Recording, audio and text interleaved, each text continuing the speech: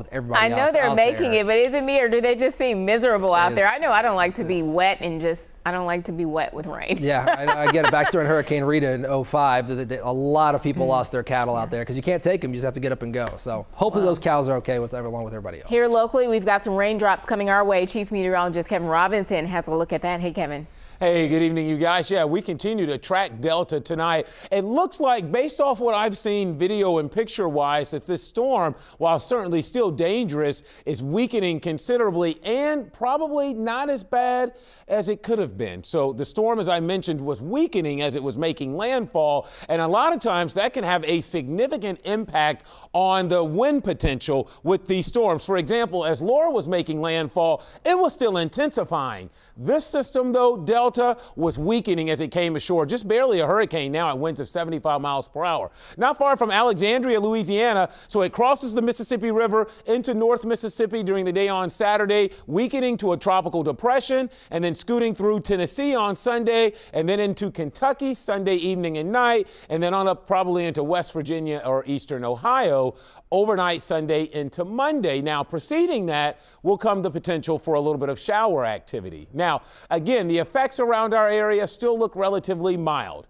There will be an opportunity for a few showers on Saturday, but that chance really grows on Sunday. Now, I don't see a lot of rain from this system, nor will the weekend be a washout. However, I think if you had something you wanted to do outdoors, Saturday looks much better than I think Sunday will, and then we'll have a front come through Monday night that will bring with it quick chance for some showers. Still very mild tonight, 69 degrees. Look at that southwest wind. We're already feeling some of the effects of that increase in tropical moisture as our dew points have climbed close to 60 here tonight. So temperatures won't fall much with clouds, a little breeze, higher levels of humidity. We're only going to drop into the low 60s for lows. So temperatures the next few hours will gradually sink their way through the 60s. And again, there will be the threat for a few showers into your Saturday.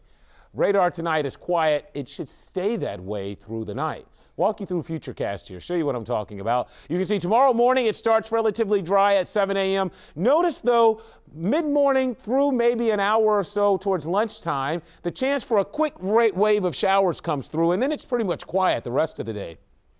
Then as we get into Sunday, Sunday, more steadier showers develop across the area. And while it looks heavy here, it won't be. In fact, most areas will see under a quarter to a half an inch of rainfall. Notice this is Saturday. Notice not a lot falling from the skies there. But Sunday, you get more appreciable rains, especially south and east of Cincinnati. There could be some heavier amounts. But overall, someone picks up an inch to our south and east, that would be about the worst of it.